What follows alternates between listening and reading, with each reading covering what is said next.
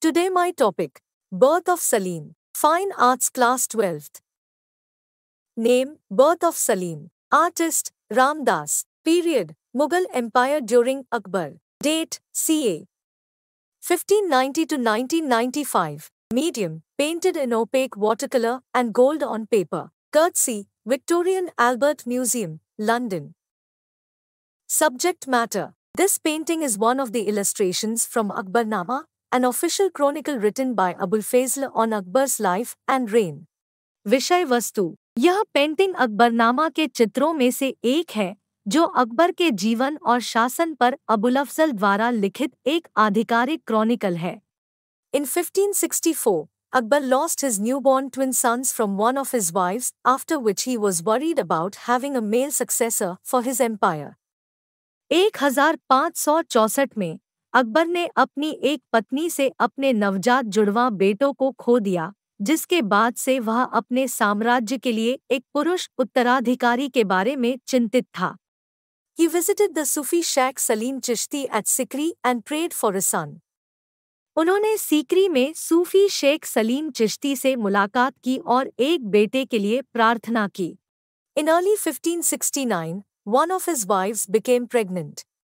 एक हज़ार पाँच सौ उनहत्तर की शुरुआत में उनकी एक पत्नी गर्भवती हो गई। She went to Sikri and gave birth there to a son who was named Salim after the Sheikh वह सीकरी गई और वहाँ उसने एक पुत्र को जन्म दिया जिसका नाम शेख के नाम पर सलीम रखा गया। He later became the emperor Jahangir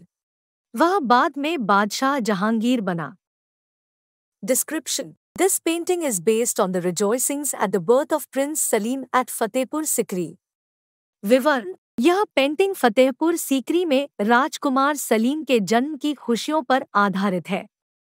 It is a combination of three scenes, an aerial view of the Znana and the birth chamber, a central courtyard where musicians play music and outside the wall where alms are distributed to beggars.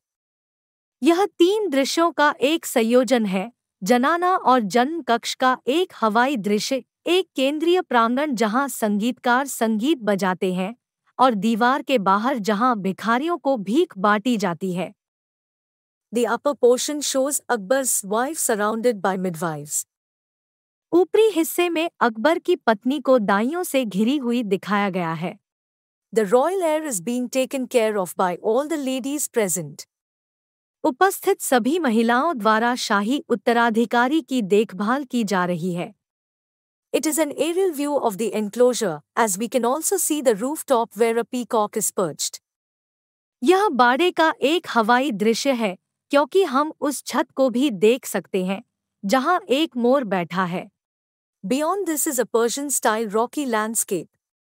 इसके आगे एक फारसी शैली का चट्टानी परिदृश्य है।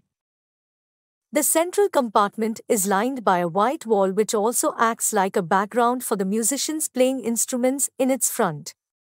केंद्रीय कंपार्टमेंट एक सफ़ेद दीवार से घिरा हुआ है। जो इसके सामने वाद्य यंत्र बजाने वाले संगीतकारों के लिए एक पृष्ठभूमि की तरह काम करता है